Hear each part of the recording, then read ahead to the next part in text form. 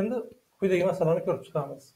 A b s d e f kishilarni doiraviy stol atrofidagi oltita stulga necha xil tartibda o'tkazish mumkin? Demak olti kishi berilgan mana a b s d e f bilan belgilangan ular va oltita stol berilgan dumaloq stol atrofida. Ularni necha xil e, usulda o'tkazish mumkin? Bu yerda quyidagi savollarga javob beramiz. Quyidagi shartlar e, masalan birinchi shart birinchi misol. A va s yonma yon o'tirishi kerak. Yoki bo'lmasa ikkinchi misol. A b s yonma yon o'tirishi kerak. Uchinchi misol. A va d yonma yon o'tirmasligi kerak bo'lsa. Hop shu misollarni ko'rib chiqamiz. Hop bunday masalalar qanday yechiladi doiraviy stol. Demak oltita o'rin oltita stul bor. Aytaylik. Bir ikki uch to'rt besh olti. Biror olti kishini bu yerga agar necha xil usulda o'tkazish mumkin desa unda olti faktorial bo'ladi. Lekin bu yerda savol biroz boshqacharoq qo'yilgan. Necha xil tartibda o'tkazish mumkin? Ikkalasini farqi bor. Mana masalan doiraviy stol atrofida a b s d e f masalan mana bunday o'tkazishimiz mumkin. Xuddi shu tartibda mana bunday o'tkazishimiz ham mumkin.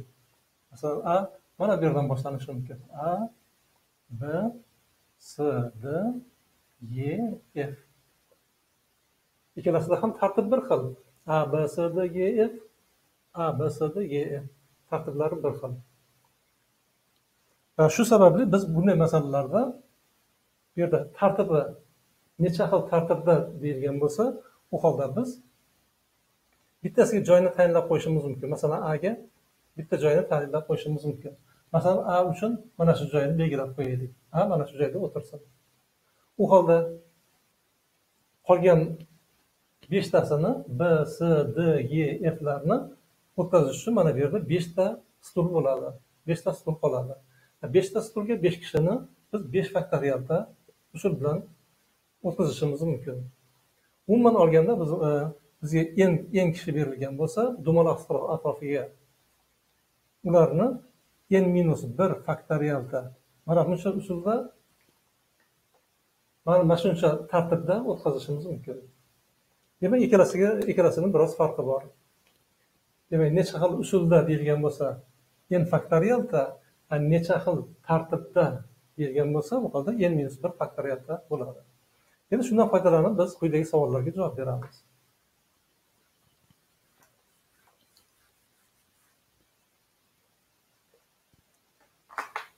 Va birinchisi a va s yonma yon o'tirishi kerak.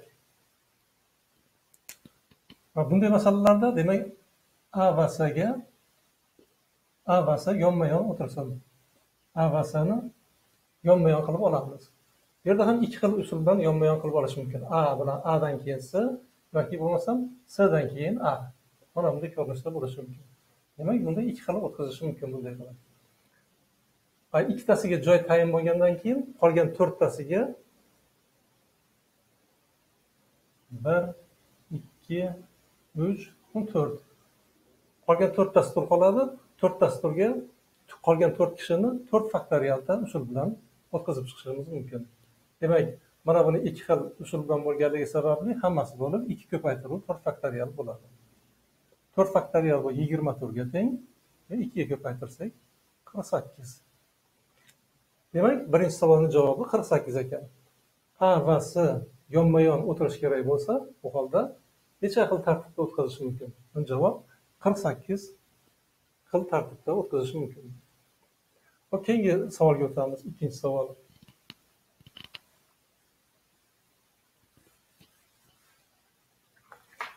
A b s yonma yon o'tirishi kerak. Bundachi biz a b slarni a b slar yonma yon o'tiribdi deb olamiz. Ularni go'yoki bitta odam deb qaraymiz. Hisoblash uchun biz go'yoki bitta deb qaraymiz. Hop qolgan nechta joy qoladi? Uchtasiga mana joy tayin. Qolgan yana uchtasi stul qoladi. Mana buni o'chirib qo'yaylik.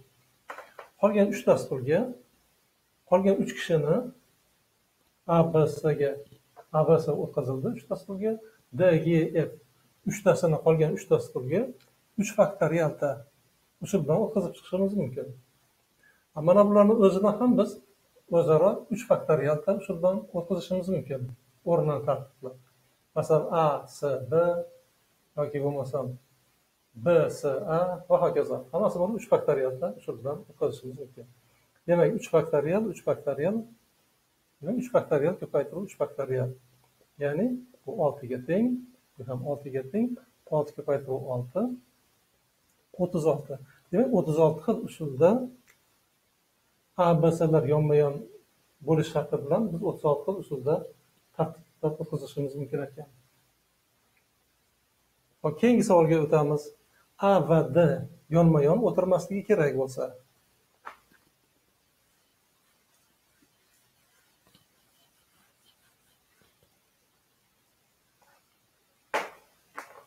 hop aga mana aga bitta joyni tayinladik. Doiraviy stol masalan atrofida bo'lganda e, necha xil tartibda degan savollarga javob berish uchun demak bittasiga tayinlaymiz joyni. Aga joyini tayinladik. Hop endi qolganlarini joylashtiramiz. A va d yonma yon o'tirmasligi kerak.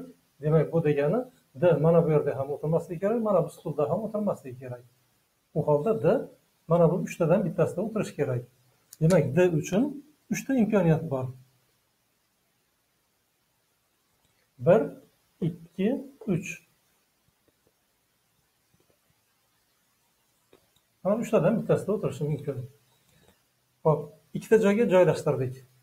A ni bitta turga o'tkazdik D ni bitta turga o'tkazdik. To'rtta tur qoldi holda To'rtta turga qolgan to'rt kishini joylashtirishimiz kerak. B s e etlarni joylashtirishimiz kerak. Buni necha xil usulda bajarishimiz mumkin? Bizga ma'lum to'rt kishini to'rtta o'ringa joylashtirish uchun mana buncha usulda joylashtirishimiz mumkin.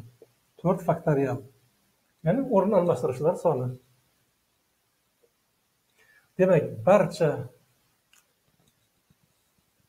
a b s d e f olti kishini a va dlar yonma yon o'tirmaydigan qilib tartiblab chiqishlar soni uch ko'paytiruv to'rt faktorialga teng ekan. Bu degani uch ko'paytiruv to'rt faktorial yigirma to'rtga teng uch karra to'rt yetmish ikki